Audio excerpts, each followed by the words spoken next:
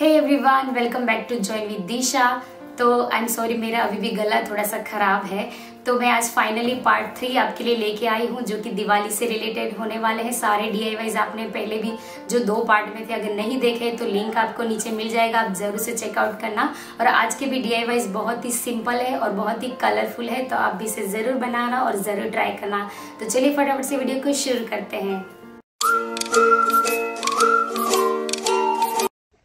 First D के लिए मैं यहाँ पे मिट्टी के कूलर जो कि मुझे आइसक्रीम में आए थे तो वही यूज़ कर रही हूँ। आपको चाय की दुकान पे इजीली आपको मिल जाएँगे।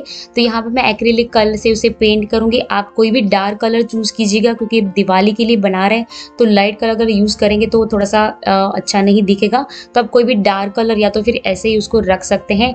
हमें इसे वाइट एक्रेलिक कलर से पेंट करना है। आप अगर कोई भी डार्क कलर से उसे पेंट करते हैं तो भी चलेगा, क्योंकि हमने ऑलरेडी जो ऑरेंज कलर है, वो डार्क रखा है। तो उसके ऊपर अगर आप व्हाइट कलर से डिज़ाइनिंग करेंगे तो बहुत ही ब्यूटीफुल निकल के आएगी।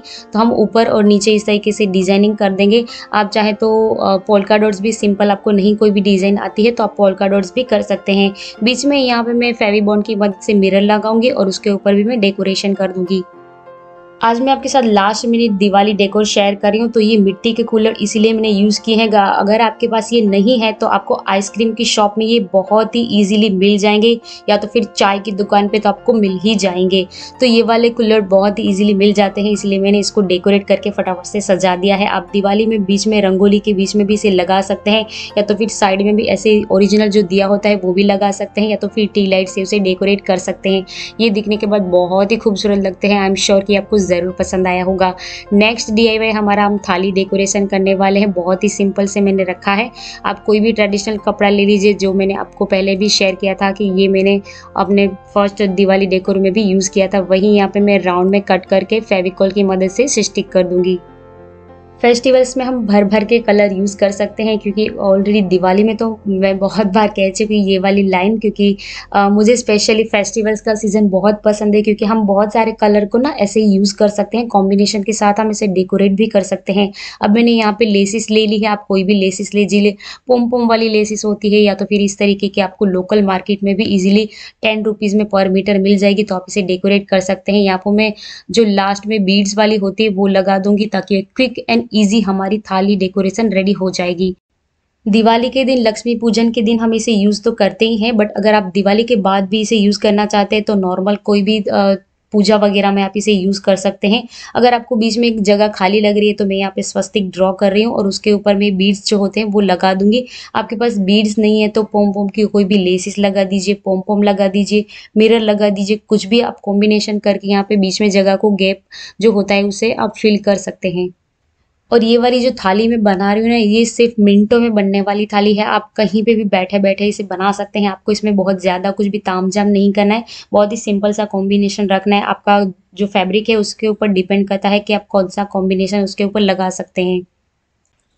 थाली को मैंने इसीलिए सिंपल रखा है कि लास्ट मिनट में हमारे पास जो भी सामान अवेलेबल होता है, उसी से हम बनाते हैं। तो मैंने भी मेरे पास जो भी सामान अवेलेबल था, इतने सारे मैंने डी बनाए, उसी में से मैंने थोड़ा थोड़ा सामान करके ये थाली बनाई है। और मैंने बहुत बार आपके साथ शेयर भी किया है कि मैंने थाली कैसे बनाई है। आप अगर मेरे प्रीवियस वीडियो भी चेकआउट कर सकते हैं या तो मुझे इंस्टाग्राम पर भी फॉलो कर सकते हैं, वहाँ पर भी मैंने बहुत सारे डी ऑलरेडी शेयर किए हैं। तो आजकल लास्ट एंड क्विक डीआईवाई जो है रंगोली, हम सब रंगोली ऐसे नॉर्मली कलर से तो बनाते ही हैं बट आजकल इस एक्रेलिक की रंगोली भी आप देखते ही होंगे। तो उस एक्रेलिक की रंगोली मैंने यहाँ पे ओल्ड सीडीज़ को कट करके बनाया है। तो ओल्ड सीडीज़ को मैंने इस शेप में कट कर दिया है। आप चाहे तो कोई भी अलग अलग स्क्वायर या तो फिर शेप आपके जो भी दिमाग में आता है स्क्वायर में उसे कट कर सकते हैं। मैंने इसके ऊपर गोल्डन एक्रेलिक कलर से उसे पेंट कर दिया है। आप कोई भी डार्क या लाइट कलर जो होते हैं वो चूज़ कर सकते हैं। और उसके ऊपर आप या तो फिर बेड्स के जो होते हैं उसे डेकोरेशन कर सकते हैं। या तो फिर डायमंड की चेन से आप डेकोरेट कर सकते हैं। गोल्ड चेन से भी डेकोरेट कर सकते हैं। मैं आपके साथ आगे बताऊँगी कि मैंने इसे कैसे डेकोरेट किया है। तो ये देख सकते हैं, ड्राई हो चुका है कलर अच्छे से। और इसके ऊपर मैं यहाँ पे डायमंड की चेन और जो ग्रीन कलर की बोल चेन होती है, वही यूज़ कर रही हूँ। क्योंकि मैंने यहाँ पे गोल्डन कलर रखा है तो मैंने इसके ऊपर ग्रीन कलर चूज़ किया है तो बहुत ही खूबसूरत लगता है बनने के बाद।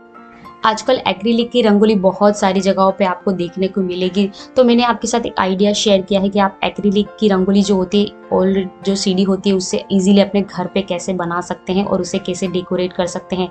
एक्रिलिक की जो रंगोली होती है, वो बहुत ईजी होती है लगाने में या फिर आप उसे पूजा घर में अपने मंदिर के पास में रख सकते हैं, या तो फिर एंट्रेंस में आप, वो क्या होता है कलर की जो रंगोली होती है, आजकल बहुत सारे बच्चे शैतान होते हैं तो वो ऐसे ही मतलब लगा के, ख़राब करके चले जाते हैं।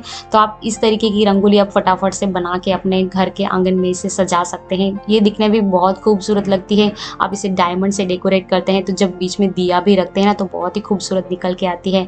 आपके पास बीच में कुछ भी सामान अवेलेबल होता है तो आप वहाँ पर डेकोरेट कर सकते हैं। मेरे पास ये जो गोटा पट्टी का एक फ्लावर था तो मैंने मैंने बीच में यहाँ पे सब में लगा दिया है। तो मैंने जो ये शेप में चार पीस कट कर दिए थे तो उसे मैंने सेम रखा है और बीच में जो मैंने राउंड कट किया था, उसके इस कलर का डेकोरेट करके मैंने कंप्लीट कर दिया है। आप, मैं आपको लगा के भी दिखाऊँगी कि इसे आप कैसे रख सकते हैं।